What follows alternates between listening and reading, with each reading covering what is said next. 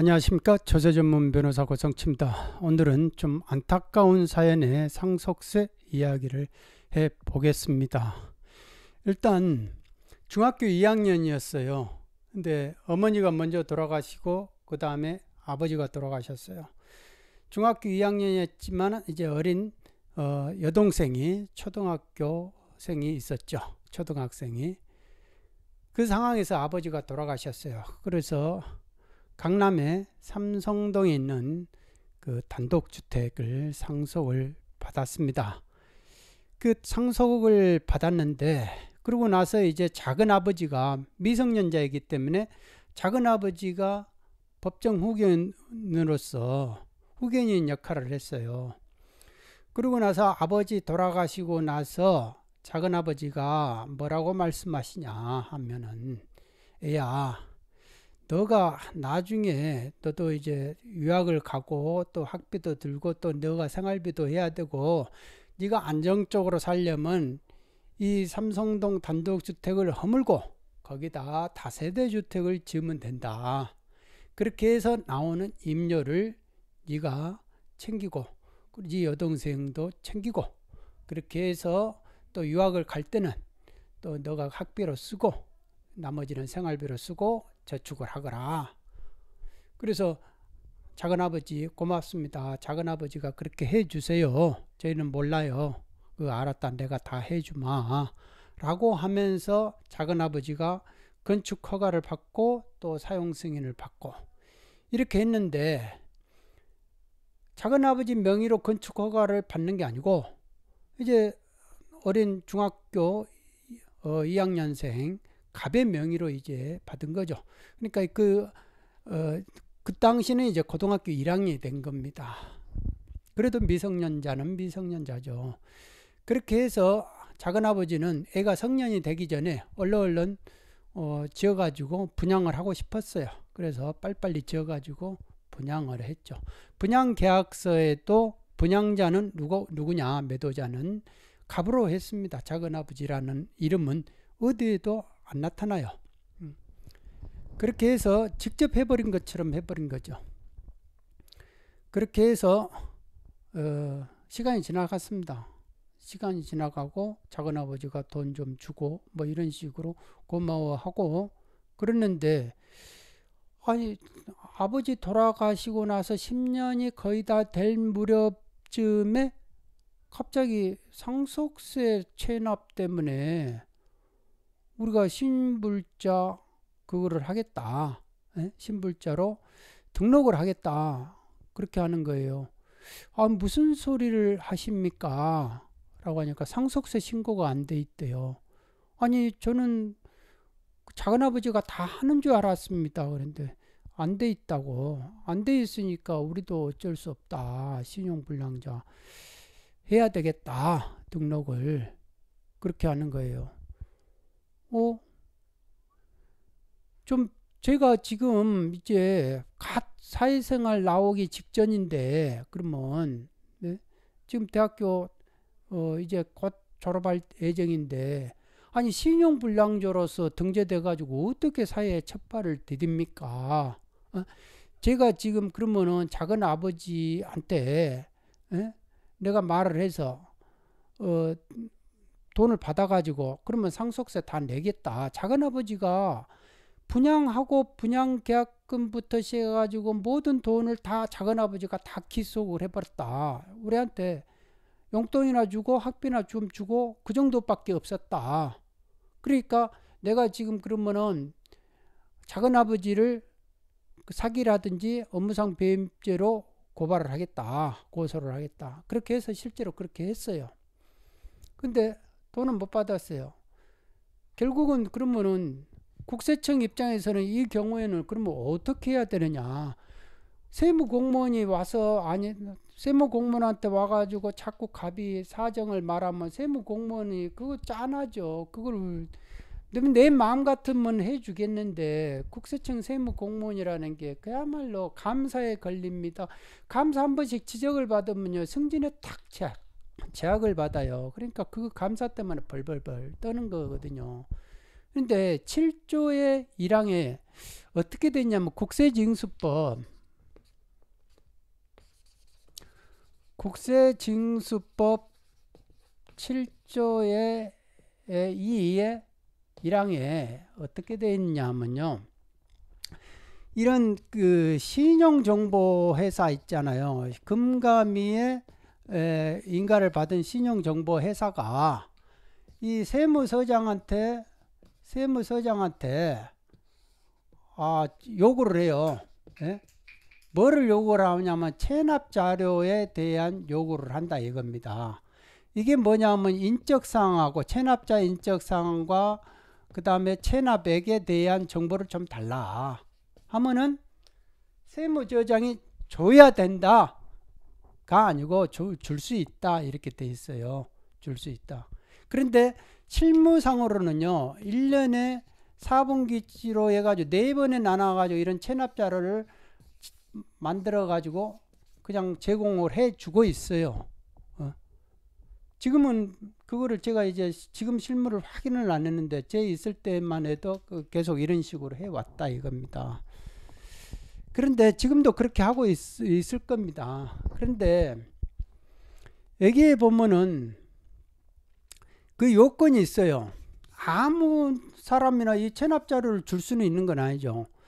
1년 그 1년 체납 이 체납이 발생됐다. 이 체납이 언제 발생됐냐면 고지가 나가죠. 예. 예? 고지가 나가면은 고지 나가는 것부터 1개월 후에 1개월 후에 납기를 정해요. 납기를 정했는데 이 납기 때까지 어떻게 됩니까? 돈을 안 냈어. 그러면 체납자가 되는 거예요. 그러니까 이 체납 발생일로부터 딱 1년이 지난 이후 예? 이때 체납액이 500만 원 이상이면은 신용불량자 자료를 체납 자료를 신용정보회사에다가 준다 이겁니다. 그러면 신용정보회사가 어떻게 됩니까? 등재를 하죠. 신용불량자라고. 500만 원 때문에 된다 이거예요. 500만 원 때문에 체납액은. 예? 그리고 두 번째는 1년에 1년에 3회 이상 3회 이상 체납을 하면은 이것도 500만 원이다 이거예요. 그러니까 500만 원 가지고 전부 다가 체납자 만들 수 있다. 음? 500만 원 가지고. 어떻게 보면 좀 가혹하죠. 요즘에 돈 500만 원면 눈 딱 감고 뭐 하면 500만 원 이상 금방 나오잖아요. 네? 보이서도 그러고 뭣도 그러고 지방 재산세도 그러고 네? 세금이라는 게 500만 원 이상 보통 다 나오죠. 그러니까 이런 부분에서 이 체납 자료를 준다 이겁니다. 근데 예외는 있어요. 예외. 예외가 있어가지고 불복을 해요. 불복. 그러니까 이 불복의 개념이라는 게 이 고지서가 나온 이후에 불복을 한다 이거예요. 근데 대부분의 어떤 사람 세무 공무원도 그러고 세무사들도 그러고 과제전 적부 심사도 불복으로 생각하고 있어요. 불복. 그거는 이제 시혜를 주는 겁니다. 시혜. 그냥 내가 은혜를 주는 거예요. 그거를 내가 과세하지 않겠다라고 한다 하면은 그거는 시혜를 주는 정도고 그거는 불복이 아니에요. 권리가 있는 게 아니고 예? 그런 식으로 불복의 개념은 이제 고지 이후에 이건데 이의 신청이라든지 심사 심사라든지 심판이라든지 그 다음에 어, 소송이라든지 이런 거 있으면 불복이죠. 불복이 있음, 있는 도중에 불복이 진행되는 도중에는 이 신불자 자료를 체납 자료를 줄 수 없다. 아니 저 등록을 할 수 없다. 그 다음에 두 번째는 징수유예, 징수유예라든지 체납처분유예, 체납처분 유예 예. 이런 게 있으면은 못한다 이거 징수유예라는 거는 납기 전 징수유예의 경우인데 사업상 중대한 위기가 벌어졌을 때 예? 그런 경우에 이거 좀 살려놔야 되겠다 할 때는 이제 징수유예를 해주면은 예, 신불자 등록을 안 해주죠. 그리고 체납처분 유예라는 거는 압류를 해놨는데 이 압류 재산을 가지고 실행을 공매를 해버리면 뭔가가 문제가 생기는데 이거를 잠깐 그 순간에 체납처분을 유예를 해주면은 공매를 안 해주면은 이 사람이 돈을 벌어가지고 갚겠다 세금을 갚겠다 하는 때 해주는 거거든요. 그런데 이 자체 받기가 그렇게 힘들어요. 음. 그러니까 현실적으로 저런 거 받기가 쉽지가 않다라는 겁니다. 그러니까 국세징수법상의 7조 2에 따라서 우리가 뭡니까? 신불자 등록을 좀 해주라. 좀 유예해주라. 하지 말아달라. 할 수 있다예요. 할 수 있다. 할 수 있다니까 안 하면 되는 거예요. 안 하면 되는데 아이 그냥 국세청 세무서에서 1년에 4번씩 이렇게 일괄적으로 줘버리니까 난, 난 내가 어떻게 할 방법이 없습니다. 이렇게 하는 거죠. 그러니까 뭐뭇 할수 있다, 뭐뭇 해야 한다, 뭐뭇 한다 이렇게 돼 있지 않고 뭐뭇 할수 있다라는 규정이 세법에 의외로 많아요. 의외로 많은데 그 규정을 이런 경제적인 약자한테는 강하게 뭐뭐 해야 합니다. 뭐뭐 해야 합니다라고 이렇게 어쩔 수 없어요. 저는 어쩔 수 없어 이렇게 세무공무원은 말을 하는데 거학들 있잖아요. 거학. 예? 진짜 몇천억을 움직이고 몇천억의 과세를 받고 공제를 받는다 하더라 5천억 이상씩 팍팍 공제를 받는 그런 사람들이 힘 푸시를 하면요 할 수 있다가 되는 거예요 할 수 있다 얼마든지 할 수 있으니까 할 수 해주면 되는 거예요 예? 이 법이 아니죠 그러니까 그만큼 우리나라는 용을 쓰면 뭔가가 영역이 용을 써서 먹을 수 있는 그 영역을 이렇게 법전에다가 만들어 놓은 거예요 제가 볼 때는 그것이 그 생존 영역이 있습니다. 그러니까 이 세상이 이렇게 돌아가잖아요. 이 세상이 완벽하게 탁탁 이게 기계 톱니 바퀴처럼 예? 기계 톱니 바퀴처럼 이렇게 맞물려 가지고 돌아가면 먹을 것이 안 생겨요. 미국의 공무원들이 의외로 보수가 낮대요. 보수가 낮는데 아 거기도 그 공짜 좋아하냐? 예? 어, 얻어먹으면서도 이렇게 큰 소리 치냐? 아, 절대 안 그런데요. 얻어먹고 뭐 그런 게 없답니다. 그러니까 누구를 봐주고 누구를 해주고 그러니까 변호사한테 야 돈을 더 줘가지고 좀 푸시 좀 해가지고 조금 좀 유리하게끔 해달라 그거는 변호사한테 하는 말이지 공무원한테 직접적으로 나한테 좀 유리하게 해달라 이게 안 된 안 통한다는 거예요 그래서 미국이라는 사회가 이렇게 형평성 있게 탁탁탁탁 돌아가는지도 몰라요 근데 우리는 이런 수, 뭐뭐 할수 있다라고 영역을 해놓고 세법에 가만히 보시면요. 누군가를 뭔가를 공정이라든지 공정, 정의, 예? 형평 이런 걸 말을 해요. 형평을 말을 하면요. 예외가 예외 없이 뭐든지 일괄적으로 다 똑같이 하면 되는 거예요. 예? 강한 자든지 약한다든지 거악이든지 뭐든지 아무 상관없다. 그런데 뭐뭐 할 수 있다 해놓고 나서 약한 약자에게는 칼같이 모르면 또 칼같이 용쓰면 알면 봐주고 용쓰면 봐줄 수 있는 영역을 이런 식으로 빼놨다 이거예요. 이 빼놨다. 이 세계에서 뭐가 이루어지는 영향이 상당히 크다. 그러니까 납세자는 어떻게 됩니까? 여기다가 이런 식으로 신불자 등록까지 받아가면서 중2 2학년 학생이 사회생활에 나오기 전에 신불자 등록되면서 내 재산 다 뺏기고 하는 그 세금을 가지고 여기서 이렇게 이 세금을 지돈 지 호주머니 쌈짓돈처럼 생각하는 이 부류들이 항시 존재한다 이거예요. 이 사람들이 노는 방법이 뭐뭇 할 수 있다 이 규정 가지고 논다 이겁니다. 이 뭐뭇 할수 있다. 제가 나중에 이 뭔가가 어, 저한테 역할이 되면은 뭐뭐 할수 있다 뭐뭐 이런 식으로 어떤 사람은요 어떤 내가 분명히 말씀드리면 증거까지 조작하는 사람이 있어요 공직자가 에? 예?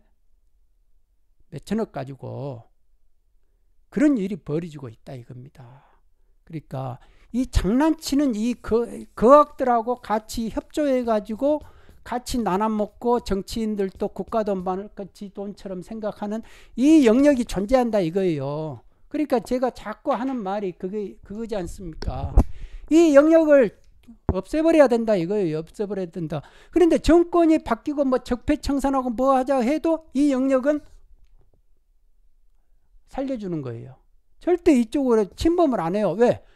여기에 예전에 정권의 갑이 전 정권에 갑이 있었다면 이 정권에서는 그럼 나도 좀 해먹자 이제 갑은 가 이제 그만 가고 나 내가 의리 내가 해먹자 이거 정권이 매번 바뀌더라도 100년 동안에 50번 바뀌더라도 어떻게 됩니까? 이 영역은 더 늘어나면 늘어났지 줄어들진 않는다. 사람이 사람만 바뀌어지는 거예요. 빼먹는 주체들만 바뀌어지는 거예요. 그러니까 진짜로 나라가 변화되고 뭐가 개혁이 되려면 정치를 바꾸면 막 제도를 바꾸면 지금까지 그러면 제도 안 바뀌어봤어요? 정권 안 바뀌어봤습니까? 예? 그런데 지금 뭐가 뭐가 더 저 나아졌다고 생각하십니까? 왜 매년 매번 정권이 바뀔 때마다 수백조 원의 그 사업들이 생기냐 이거예요. 예? 이 영역을 잡아야 된다 이겁니다. 이 영역을 잡지 않으면 나라가 변하지 않아요. 그리고 호주머니에 세금 다 그게 고열이 돼 버리는 거예요. 고열을 짜서 자기들이 먹어버리면 어떻게 됩니까? 이 돈들이 세금이라는 게 납세자가 이렇게 납세자가 이렇게 세금을 냈으면 국가한테 국가는 다시 이렇게 다시 화, 환원을 해줘야 되는 거예요. 리타이어하고 어? 이런 과정이 필요한데 이 과정을 이쪽으로 와야 될 돈을 지가 이쪽으로 빼먹는 구조를 가지고 있다 하면은 이건 심각한 겁니다. 일반 사람들이 이 부분을 잘 몰라요. 의외로 모릅니다. 세무 공무원 30년 해도요, 국세청 조직 알기도 힘들고, 어느 공직자도 자기 조직에 부딪혀 보지 않으면 몰라요. 정치도 마찬가지고, 정치도 부딪혀 본 사람이 아는 거죠. 안 부딪혀 보는데 어떻게 합니까? 뭐든지 앞에서는 다 선하게 이루어지는 거예요. 좋은 말다 하고. 근데 뒤에서는 어떻게 됩니까? 자리 요구할 때 돈 안 주면 되겠어요? 내가 두 장을 줬다 이거예요. 그런데 누군가 윗사람이 불러가지고 아 이게 조금 그러네. 예? 아, 좀 내가 좀 난처해졌네. 뭐가 저쪽에서 푸시를 많이 해와. 그런데 나중에 보니까 그쪽에서는 세 장, 네 장을 줬다 이거 아닙니까? 예? 그러면은 어떻게 돼요?